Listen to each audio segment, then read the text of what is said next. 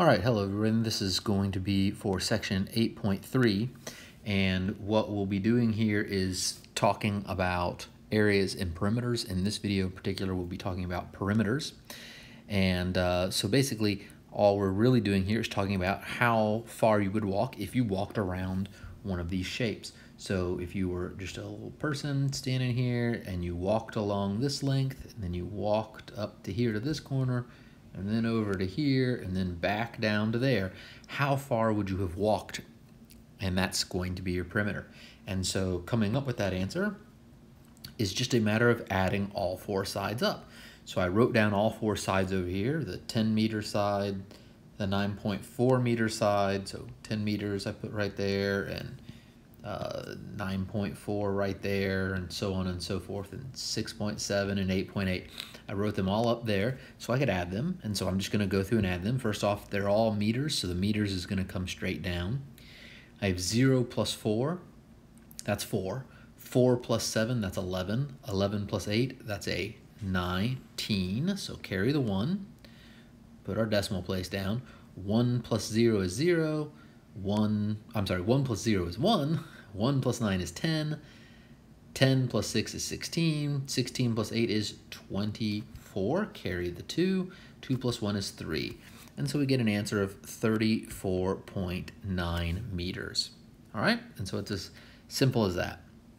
If we come down here and look at this next one, uh, here we have all these lines on here that are indicating that this is a rectangle that all these sides are essentially the same as the other. So this double side here is the same as that double line side, and this single line here is the same as this single line right there.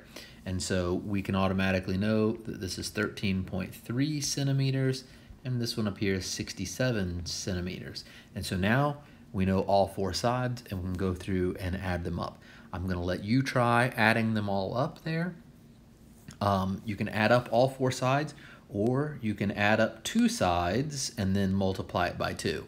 It's up to you, whichever way you prefer. When you get your answer, uh, all the answers to these are on another page, so just go and take a look and see if you got it right. All right, over here, we're gonna do a little bit, a uh, little bit more tricky ones than what we were just doing. Uh, for example, we're missing two sides here. We don't know, we don't know this side, and we don't know this side all right? So we're missing those two sides and we have to figure out how to get them. So let's first start by trying to find the pink highlighted side. Well, if we look, we've got this 30 meter side. And if we could take and just drag it straight across, right? We're gonna just drag that straight across like that and set it right here. We'd set it right here like that. And then if we could take that pink one and drag it straight across like this, we would find that it would fit right there. And that that brown 30 meter side plus whatever this pink side is, is gonna equal to that 53 meters. So that means that our pink side right here, right, this one, has got to equal, we'll do it in, I guess in this, or maybe it's a purplish side, uh, we have to be able to say that that equals uh, 53 meters minus the 30 meters. Because the pink side plus the brown side equals the 53 meters and so if we take the brown side away if we take that away from the 53 what we have left over is that pink side. And so by doing that we end up with 23 meters for the length of that pink side. Okay? And so now let's take a look at the green side. If we take a look at the green side, we can do something very similar with top to bottom. And I am going to let you give that a try. But if I label, uh, what's the color here, blue, if we make this the blue side, I want you to use the blue side and the green side in combination with this 100 meter side over here and figure out then what the length of the green side is. And once you do that, you'll be able to go through and just add up all the sides. This is 23 meters. So you need to find what the length of that green side is. Uh, When you do that, add up all the sides and then check your answer and see how you did. All right, this next one is pretty similar to that, where we again have to figure out a missing side length. In fact, two missing side lengths. We are missing, in this case, we are missing this length here, which is the same as this length here, and we are also missing this little cross length right here. And so this one I'm gonna leave totally for you to do and try and figure that out. Uh, take note of what they're telling you is essentially this length here. This is 30 millimeters. And so if you put that right there, uh, if we could move that over to there, how much would you have left over? Well, it would be the blue side. So give that one a try and then try figuring out the pink side and then checking in your answers to see how you ended up doing. All right, last part here is finding the circumference of each circle with a given diameter or radius. Basically, the circumference is just uh, the perimeter, so to speak, of a circle. And if you remember this equation, hopefully you do, uh, you probably know that the circumference of a circle is equal to 2 pi times the radius, okay? Or in fact, they're using lowercase r here, so I'll put 2 pi little r like that. Now, 2 times r is the diameter. The diameter is twice the radius. So we can also write this as just pi times d, the diameter. And so then we can go through and just start doing this.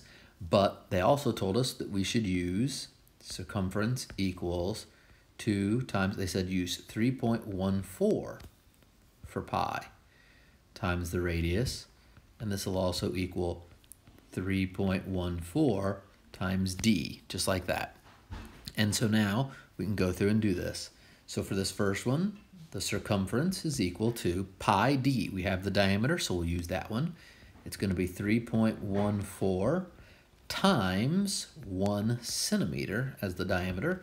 So this is 3.14 centimeters. And there's our answer. Now for the next one, they actually give us the radius. So we'll use the radius version of the equation. This one right there. And it's going to be 2 times 3.14 times 1 centimeter again.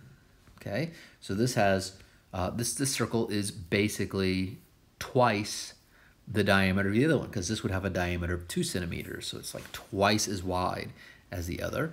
And so what happens to our circumference? Well, our circumference then should be twice what it is on the other one. Because if you notice this part right here is the same as this part right here. We just have this extra 2 out in front now since it's our radius that's 1 centimeter, making our diameter equal to 2. The other way this could have been is you could have called it the diameter and made it 3.14 times 2 centimeters, in which case we still, we would end up with twice as much. And so 2 times 3.14 is 6.28, and then times 1 centimeter gives us 6.28 centimeters. All right, I'll leave the next two for you to try. So go ahead and give that a look. That's, all right, I'll move over here to this one. So let's take a look uh, here. Got to go back a page, sorry. Uh, use the pi key on your calculator and then round to the nearest hundredth. So we're to try and find this perimeter here. So if we look at this, this is like, this is half a circle. If we were to continue it around, we'd have the whole circle. So we need to break this into sections. First, we need this length here. It's already given to us. It's 30 meters. Now, given that, we need to figure out then what is this length right here. Well, it's half a circle. It's a semicircle. And so therefore, what we can do is to find this area, we'll do it in color code, we can add the green, right, plus the blue, maybe I should make them dots so it doesn't look like minus signs. So we're going to do the green plus the blue, and that's going to give us, the green part is 30 meters. And then the blue part, right, that's a little trickier. It's going to be one half of the area of what the circle would be. Right? Area of the, or not the area of the circle, the circumference, sorry. The circumference of the circle. Well, because it's half a circle, it's halfway around it. And so we can do that by just going ahead and pulling this down. 30 meters plus 1 half times the circumference. Now, in this case, we know the diameter, so we'll just do pi times the diameter, which is 30 meters, because if this is half a circle, this is going right through the center, it's the diameter, so times 30 meters. All right, and so you can plug this into your calculator and get a number for this and check it in your answers in the back. All right, but it's going to be 30 plus 1 half of pi, which will, if you want a quick little, one more little extra little step here, we can multiply the 1 half times the 30, and you'll end up just having to do pi times 15 meters, if you're fine with that. But either way, try plugging that into your calculator, get your answer, and then check it and make sure that you got it right. All right, how about this next one? We need the perimeter of this one. So again, let's take this in sections. We again have a semicircle, half a circle right there in the blue part. And then we have three of the four sides of a rectangle. So what we can do is use this side and this side, those are the same. Making, may, it, since that one's two meters, that means this one is two meters. And then we've got this last side down here that's different and it's four meters like that. And so if you want to think of it this way, we can say that it's ultimately, it's the blue, right, plus the red, plus, and then we come in here to get plus the green part, right? Those are our, those are our three different sections that are the same. And so this will equal, well, we need the area of the blue. That's going to be 1 half. Well, let me color code this again. It's going to be 1 half the circumference, just like we did before, plus the red part. Well, the red part is just 4 meters plus the green part. Well, the green part is just 2 of the two meter sides, just like that. Or you could have written two meters plus two meters if you wanted to do each one of those green sides by itself. Either way is fine. Now, going back to this circumference one, we again need to take note that the diameter, right, is the same as this. This up here, this part right here, is also four meters, which means we have the diameter of that circle being four meters. So this is going to become 1 half times pi times the 4 meters, all right, plus, get the red back out here, plus the 4 meters for the red side, and then plus 2 times 2 is 4 meters for the green sides. All right, so you can go ahead and try that one again in your calculator um, and see what you get. Check your answer and make sure you got what was supposed to be there. Okay, let's go ahead and look at this one. I think it's, yeah, I think it's our last one for this. And then uh, this one's a little trickier. So I want you to just pause the video for a moment and try and see if you can figure this one out before you come back and have me show you how to do it. So hopefully you're pausing that now and now maybe you're back. So what we have here is essentially just two circles. If we look at this top one, this is the upper half of a circle, right? A semicircle. And then this is the bottom half of that same semicircle, right? And then if we look over here, we have the right-hand side of a circle, and then here's the left-hand side of a circle. I know that these are semicircles because this rectangle in the middle, we're meeting at right angles in there. Because where this comes over is hits at a right angle. So I know I've got, uh, oops, I know I've got semicircles there. And so essentially I just need to add up the two circles together. So it's gonna be the area of the red one or not the area, sorry, the, the circumference of the red one plus the circumference of the green circle. All right, because I put the two green pieces together, I have one full circle. I put the two red pieces together, I have one full circle. So this is gonna equal, and when I look at this red one, I see that this eight meters is this length right there, making it the diameter. So it's going to be pi times that eight meters, right? It's a one half pi times eight, and a, it's a, you know, it's a one half pi times eight and a one half pi times eight. So it's just a pi times eight because they just make one circle. And then plus over here, I have to do pi. And when I look, I see that this 16 meters here is this length over here, which is the diameter of the larger semicircles. And there's two of them, so it makes one full circle. So this is pi times 16 meters, okay? And we can reduce that. We can add this 8 pi plus 16 pi will also just give us pi times 24 meters. So type that into your calculator using your pi button and you should get an answer and then check it on the answer key. All right.